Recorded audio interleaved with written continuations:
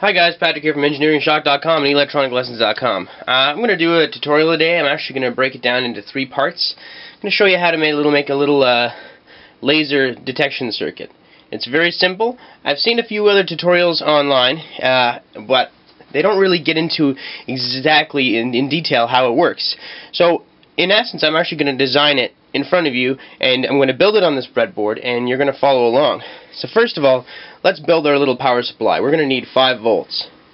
So first of all, if you're going to use a 9 volt battery, let's say you're using a 9 volt battery. You've got 9 volts, you're positive 9 volts, and you're, you're negative 9 volts. 9 volts ground, and uh, ground DC. And that's connected to pin 2 of 7805. Uh, left pin is 1, right pin is 3, middle pin is 2. 1, 2, 3.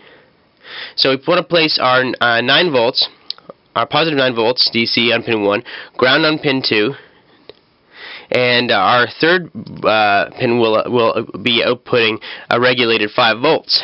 And we've got two capacitors here between the output pin 3 and pin and, and ground, which is also connected to pin 2. You've got a 0.1 microfarad electrolytic, uh, two leads of the same length. They are uh, it's not polarized, and uh, 10 microfarad uh, electrolytic. One lead is, short, is long, one lead is short. Long lead is positive, short lead is negative, in which case we're going to connect uh, to ground. So you'll notice that we've got a little tri triangle symbol here. That means that anything with that indicator will be connected to our DC ground. Uh, we've also got a 5 volt indicator, meaning that anything with this symbol with plus 5, 5 volts will be connected to the 5 volt line. So first of all, place your 7805, which you can find all these components that I'm about to show you at Radio Shack, uh, in the left side of the board. Take a black wire, place it in your ground rail.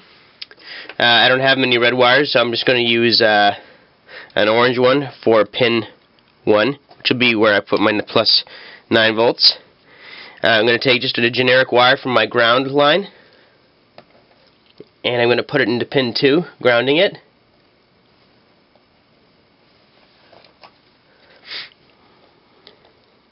Just gonna bring this a few a few dots back. There we go. So now we've we've we've we've uh, done everything but the the regulation side. So what we can do is take our 0.1 microfarad electric uh, ceramic capacitor, place one lead at pin 3 and one lead at pin 2, because the secondary lead is connected to ground, and so is pin 2. So pin 3 to pin 2, easy connection. Uh, and as well, so now we want to take our 10 microfarad, positive lead on pin 3, short, uh, short lead on pin 2.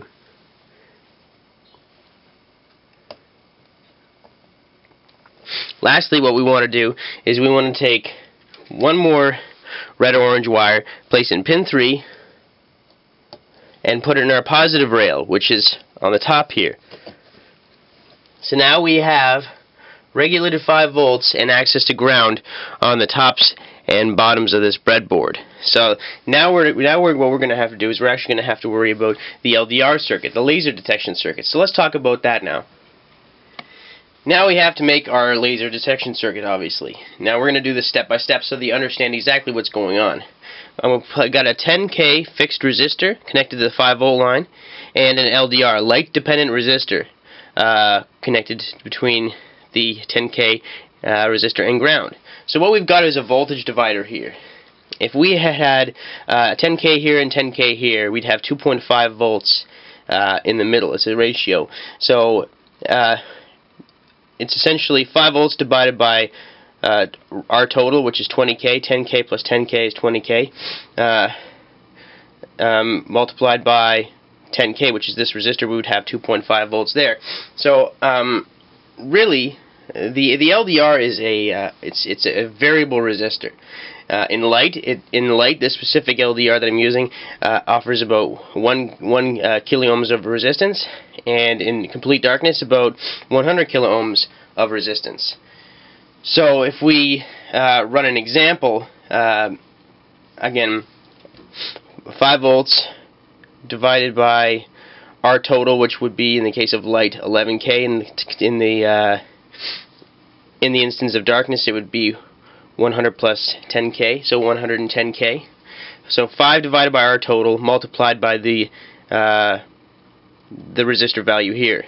So in the case of uh, light, 5 divided by 10k multiplied by 1k. We, that would be our voltage here. Uh, and I'll do the calculations in just a minute. In the in the the other way, 5 volts divided by 110k multiplied by 10k. We would have a different uh, voltage there based on our 5 volts.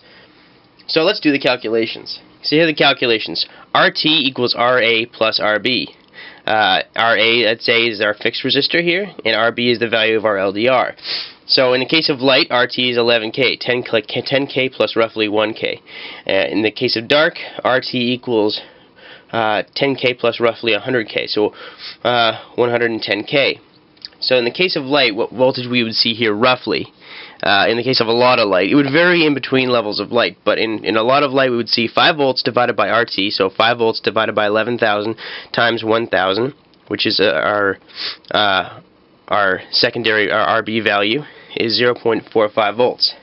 So that's what we would see here, 0.45 volts, roughly, in a, in a, in a, in a very high light situation.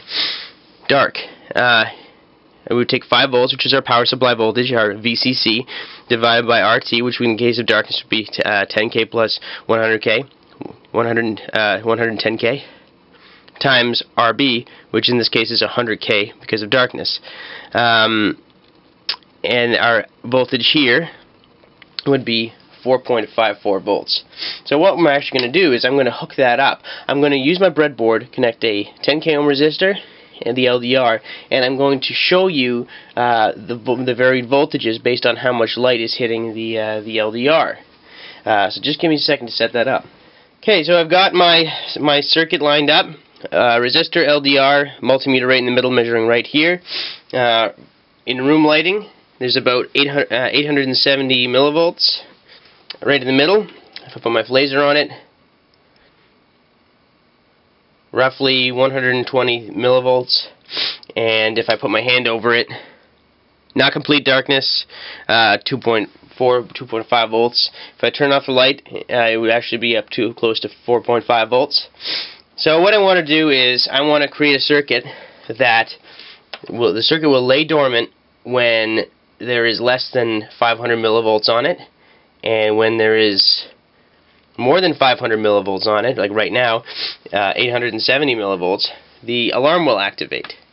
Um, now I'm going to actually make a whole bunch of different circuits, and this is a block circuit, so you can basically follow along and do a bunch of different things at your end. You can try a bunch of different experiments, because I'm going to be making three different videos. So now let's talk about our comparator circuit. We have to design a comparator circuit. So let's do that.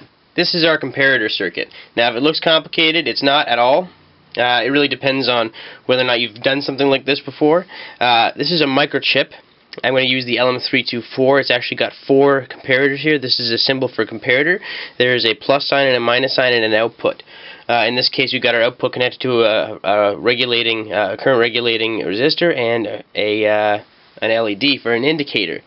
Um, and once we actually build the circuit, we're going to stop the video and we're going to build on it in another video. But regardless, what we have to do is uh, this line, our, our plus uh, input, is connected to our LDR circuit over over this way. And second, the negative is connected to uh, another resistor divider network made up of two resistors that are fixed values. Now, what we want to do is we want to set a reference to the negative because how a comparator works is if there's more if there's more voltage a higher voltage at the positive than there is at the negative, the output will be high. If there's a higher voltage at the negative than there is at the positive, the output will be low. So it compares voltages. Uh, it's a really, really wonderful little little circuit. So uh, we, we, we, based on what we just saw, we want to we want to have a, a high uh, we want to have a, uh, a circuit that has a reference on the negative of uh, 500 millivolts. So we want to have 5 100 millivolts right here. So what we have to do is we have to create that. So let's do the math. The math here is pretty easy actually.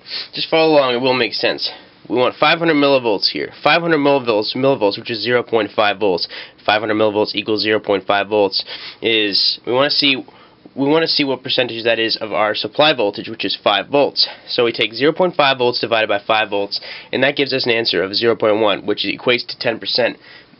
so between the total resistance of our new RA and RB for the secondary um, resistor divider, we want our RB to be to be 10% of the of the total.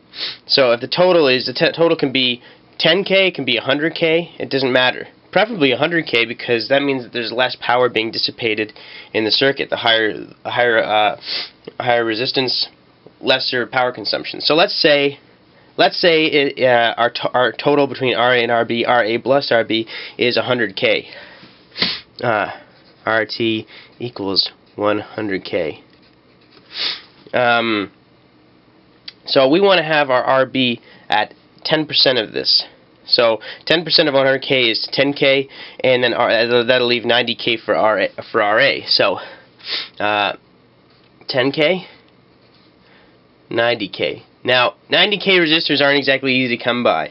Uh, there are all sorts of, of weird values out there, um, but you know, if, if you're off by uh, by a few kilo ohms, it's really not going to matter all that much. Just get as close as you can, and if you have to use you know two resistors in series here just to to, to make around 90 ohms, you can or 90 kilo ohms, you can do that. Uh, really not all that difficult. 91k is a standard value, so you could use a 91k here. Anyway, that's going to give us a fixed value of about about 500 millivolts. So I'm actually going to build this resistor divider uh, as close as I can. I'm going to use a 91k and a 10k, and we're going to see how close I am to 500 millivolts. So 91k connected to 5 volts, and the secondary to uh, fixed 10k, which is our RB, right here to ground. So right in the middle, um, I'm going to, to measure at the same spot just like we did for our LDR divider and I'm going to power it up. 481 millivolts close enough. Uh, and you, you can try that at your end too. You can use those same formulas to, to make your own voltage dividers very easily. So now we have to use our comparator circuit uh, and I've already really shown you the schematic, but before we go on, I'm going to show you, do a quick introduction on the LM324 uh, quad op amp. The LM324 is a 14-pin uh, chip.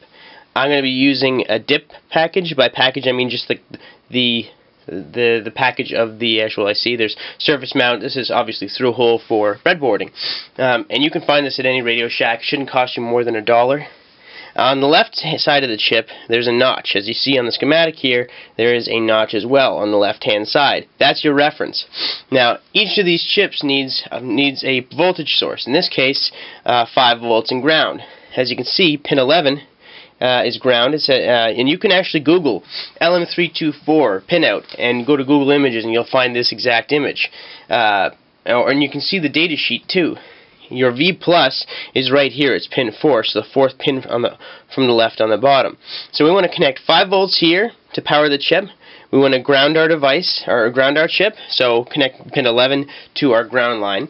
And as you can see, there's four op amps here. We only need one of them. Uh, so we're going to use the one in the lower left-hand corner, pins 1, 2, and 3. Pin 1 is the output, pin 2 is the negative input, and pin 3 is the positive input. So let's put our let's put our chip, our LM324, on our breadboard, and we can connect up our circuit. So again, one of our op amps, pin 3, positive input, connected to our uh, our LDR voltage divider.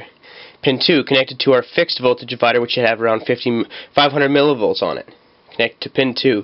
Pin 1 is our output, which we will play, which we will talk about in just a minute. We'll put a 470 ohm resistor. It really doesn't matter. Um, 390 to 1, 1000 should really light up an LED, so 390 to 1K should be fine. Uh, LED, if you don't know anything about LEDs, there's a, the long lead is the positive, which is connected to the resistor. Short lead is your negative, which is connected to the ground line. Uh, but I'll show you that in a minute. Uh, pin uh, pin 4 of the op amp, connected to 5 volts. Pin 11 to ground, just like we talked about. So if you actually look up here, what I've done is I have connected pin uh, 11 to ground, and pin 4 to my 5 volt line. Now I'm just going to take some random wires here. Uh, as per the schematic, as I mentioned, uh, pin 3, which is right here, will go to our first voltage divider, our LDR divider. And pin uh, 2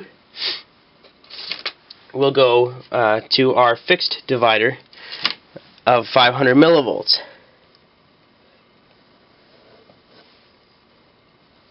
Very easy to do. Now you don't need to use big bulky wires like this. I'm obviously just doing this as a quick tutorial. You can make yours a heck of a lot neater. Or you can solder it onto, onto a proto board. So anyway, we're pretty much ready to test it. I've got my laser pointed on my LDR fixed right there. There's my LED. It's actually pretty sensitive, not overly sensitive, not the most sensitive circuit in the world. I've created really sensitive ones, but that's because the response to the LDR isn't fantastic. But it certainly is reliable. So, based on what we did in this, if you paid close attention, uh, again, I'm sorry if I'm, I'm, a bit of a rambler. I just hope that you got enough. It's basic, you know, it's basic uh, arithmetic to design some of these simple circuits. And what I'm going to do in the next two videos is I'm going to show you what you can use that outputted signal from our comparator. Uh, we, we can use that for a bunch of different things. And I'm going to show you and I'll leave it as a surprise. So if you're interested, please come back to my channel, uh, subscribe, uh, like it if you enjoyed it, and uh, let me know if let me let me know if you enjoyed this tutorial. Uh, based on the responses, I'll just continue making them whenever I have time. And again, this will be the three-parter. This will be an electronic bricks. So we're going to be piece by piece by piece. We'll add to it. So thanks for watching, uh, and have a great day, everybody.